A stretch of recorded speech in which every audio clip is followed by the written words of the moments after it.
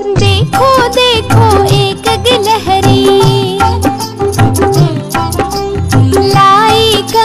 से तू बनाने। डाले पत्थर अनेक। गिलहरी भी डाले कंकर अनेक।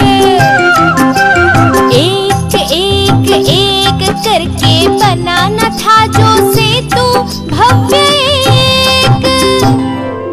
आपकी एसआईपी भी कुछ ऐसा ही काम करती है।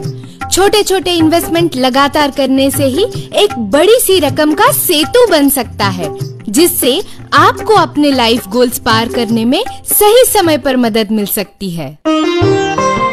म्यूचुअल फंड निवेश बाज़ार जोखिमों के अधीन है। योजना संबंधी सभी दस्तावेज़ सावधानी पूर्वक पढ़ लें।